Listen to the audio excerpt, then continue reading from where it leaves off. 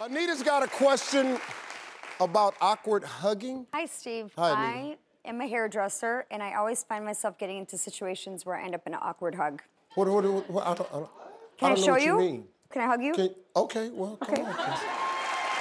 Okay, so this is after you do their hair? I finish their hair. Now Finish you're my client. Okay. The men one always goes like this. You ready for The it? men's hug goes like this? They'll go out to hug, and then I get awkward, and I do one of these. and it's just awkward and scary. And, and, and women, how do you hug women? That one's even more awkward. It's always like, it's not me, it's them. Okay. So it's like this. But they like press their chest into mine. Oh, like- they press? And then it's like very awkward. I don't, and it's not every woman, but you know, it's kind of reoccurs over the years with Well, the same people. as soon as you get through doing their hair, why don't you just go in the break room? I'll try that. That'll I'll be $35. Thank you. Y'all have a nice day. So appreciate you coming.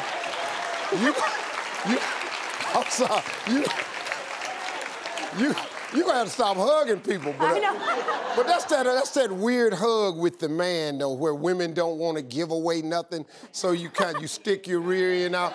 You know, you know, we call that a church hug or cousin hug. It's where you don't want to implement yourself. Oh.